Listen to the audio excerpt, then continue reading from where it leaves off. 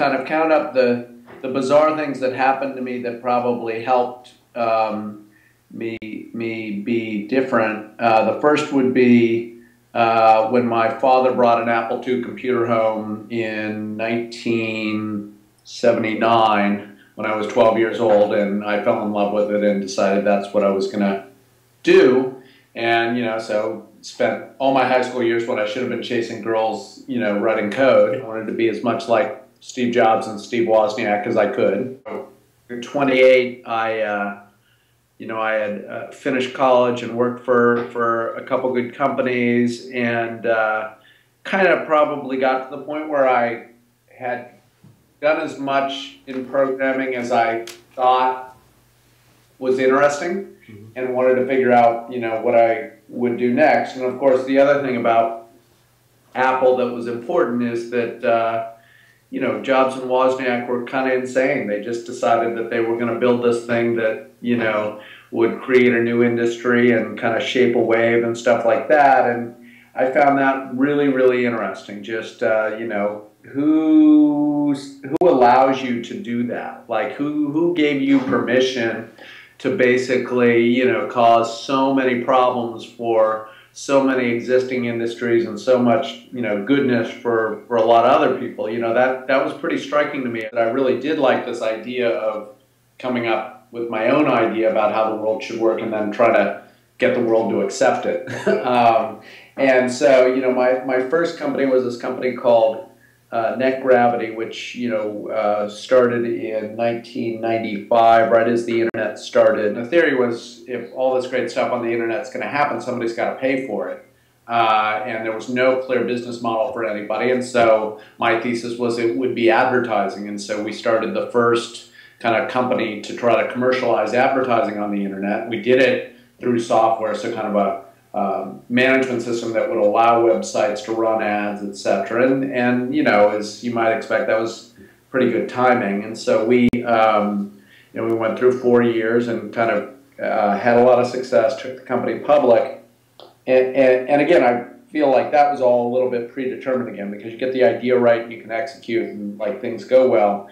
But but then you know the interesting thing was we sold the company for you know way too much money uh, and, and um, here I was at age 31 or 32, wondering what I was going to do with my life. At about that time, the Jesuits kind of reemerged. They, um, you know, they're incredible fundraisers, right? So you make a little bit of money, and, and the Jesuits will find you. Uh, and they called me up and they said, uh, uh, "Hey, John, how'd you like to help out your old high school?" And I said, "Well, you, you know, you educate upper middle class white men primarily. That's not really."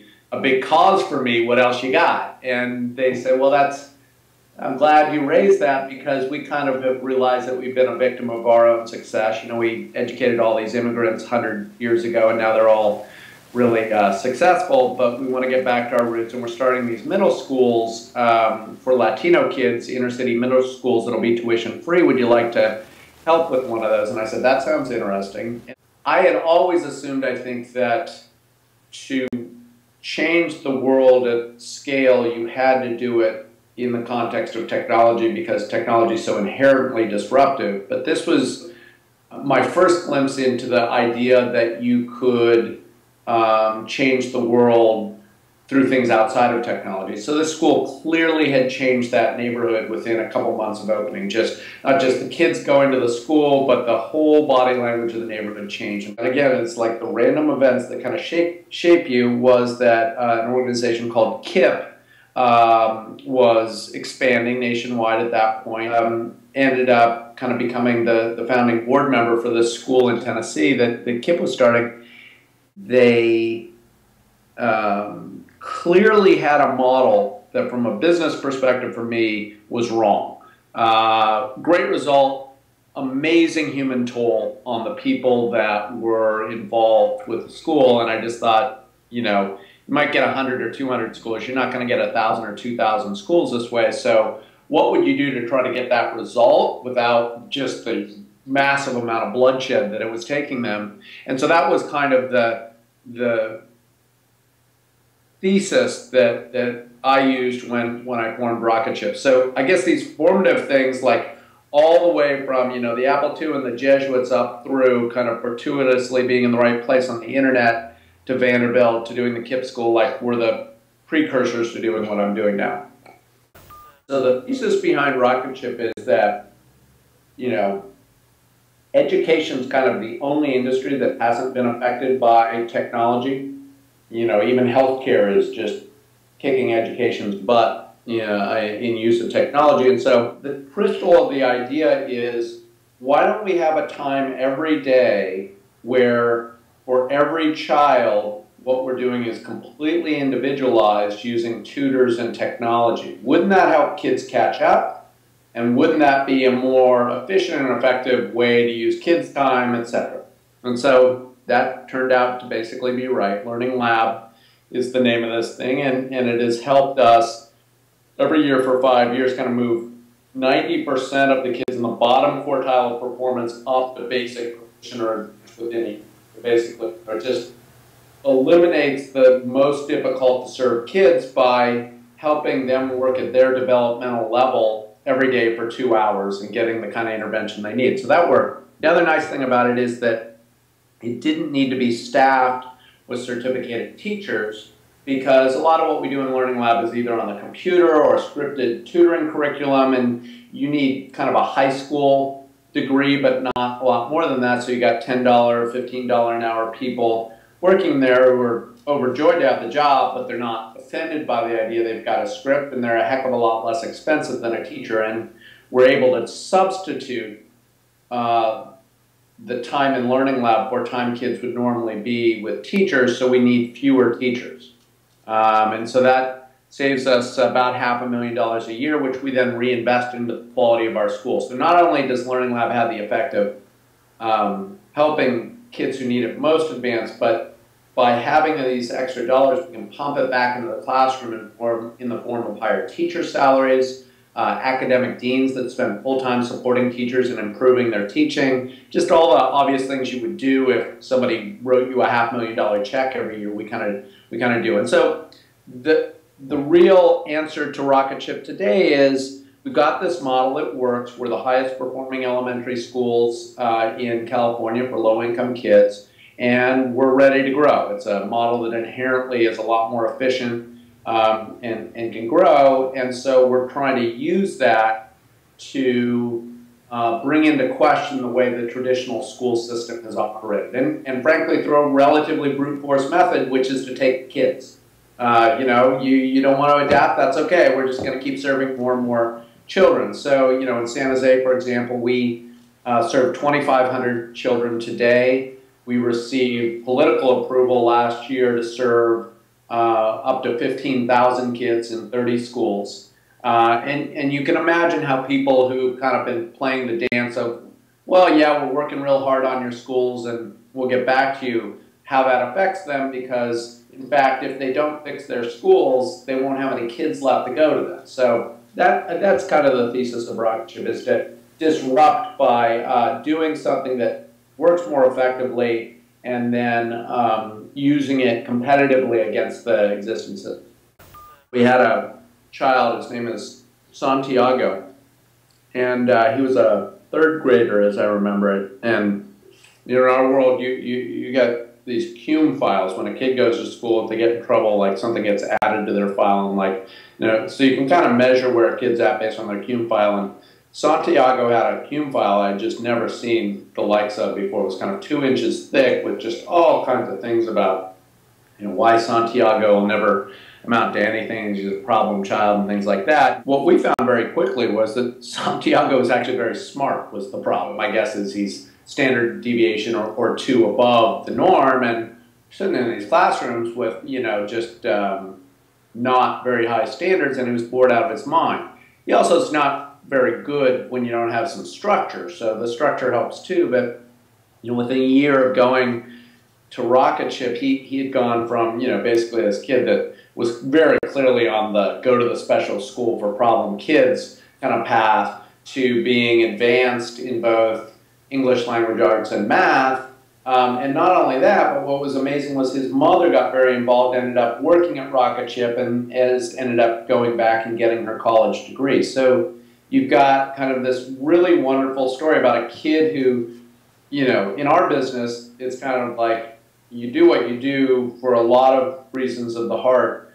But when you see kids like that, you know they're going to be in serious, serious trouble if somebody doesn't help them. So I, I like the Santiago story because it's kind of the extreme version of how our program can help a kid kind of figure their path out. I think uh, patience and thick skin seem to be uh, incredibly important characteristics. I mean, you know, when you're doing something in most of the rest of the world outside of social entrepreneurship, by and large, it's a lot of hard work. But when you're successful, you know, people are excited for you and happy that you did what you're doing. In our world, uh, you do a lot of hard work, you have a lot of success, and people are really pissed off. so uh, I think you, you really, uh, I think the reason that social entrepreneurship a lot of times is so difficult is that you really, really deeply have to believe that what you're doing is the right thing, even with a huge amount of feedback from the rest of the world, especially the current system, that what you're doing is terribly wrong and often framed in moral terms. This is immoral because you're, you know, costing people jobs or, or whatever. So I think you have to be quite resolute that, in fact, the world needs this. My perspective is that you do have to care deeply in a way that may not be completely normal.